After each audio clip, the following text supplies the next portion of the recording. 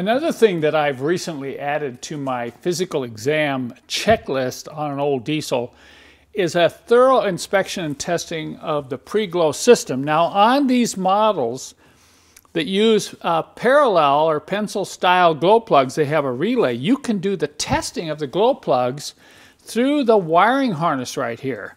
Now I've already checked these and I'm finding that all five of my glow plugs are reading okay. Now I go over this completely. I have a series of manuals on my website about testing your glow plugs and your glow plug circuits. But there's another thing that I really think is important during the physical exam, and that is to determine whether or not there's a lot of carbon buildup in the pre-chambers. I'm going to do that by removing just one glow plug, and I'll run the reamer in there. And if that one's okay, I think we're okay because I've been able to look down into the pre-chambers when I had the fuel injectors out and they don't look too bad. I removed the glow plug and it looks really good. Look at that. You got a little bit of burn on a tip there, but you have no oil buildup, no carbon buildup. Just the look of it, it appears to be a fairly new glow plug. So I've got my reamer. This is the reamer that we build here in my shop. It's got a steel housing, so it's super strong. But notice I've coated it with some synthetic grease so when I go in there and start cutting at the carbon, it's going to pick up most of that carbon and keep it on the reamer flutes. So let's see how badly or how good number two is.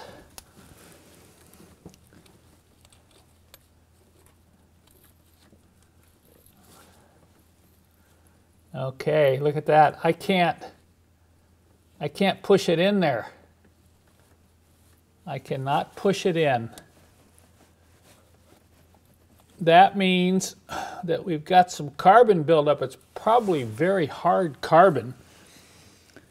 So I do have a wrench that uh, we sell that you can push in on the reamer while turning it. I also have a special ratcheting box end here that has a lip right there so I can push. You need a wrench that you can push while you turn it so let's get this ratcheting box on here. I'm going to push in and see if I can get it to cut into the carbon.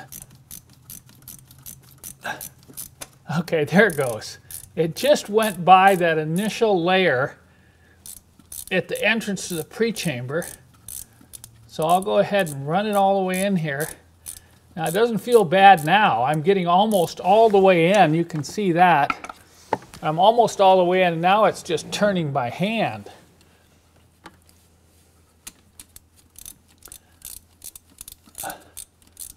Okay, we'll get it right down to the seat here.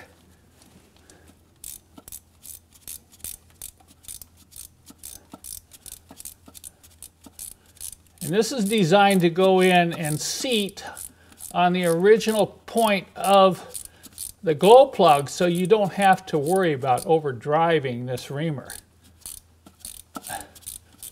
That's not too bad. Sometimes you'll get this started and you'll go in there and it'll be really tough. Okay, you don't need to torque it. It's all the way in. Now I'm going to back it out.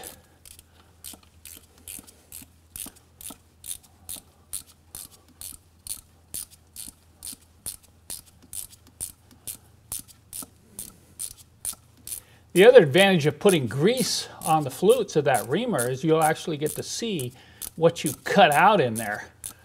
You know, most of that's carbon, so it's not going to damage the cylinder if you leave it in there and start the engine.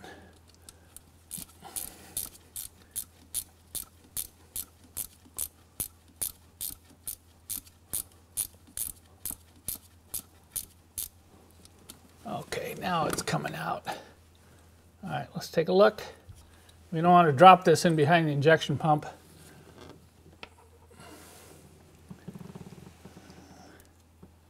Okay, not bad. You see a little bit of carbon there. Most of that's the grease. I've done this where you've taken this out and it's just coated thick with carbon. So this is not bad, but because I had that resistance, when I started the reamer, I'm going to go ahead and pull the other four glow plugs and do this now because it's really easy when you've just completed the compression test and all the injector hard lines are off.